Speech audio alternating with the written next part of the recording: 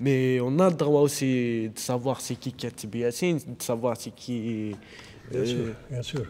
Comme on l'a eu dans notre scolarité, mais maintenant on leur enseigne ni Katib Yassine, ni Mouloud Mahamri, ni de Nisham.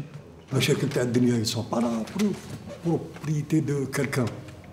on a tous le droit et on a le devoir d'en parler.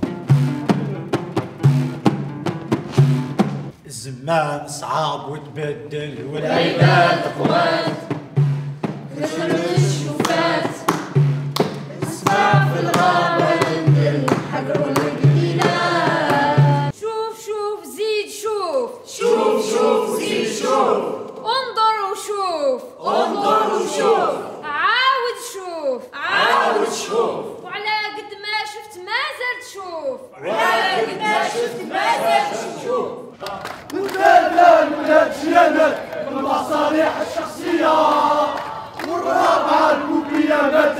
ما زالت القضية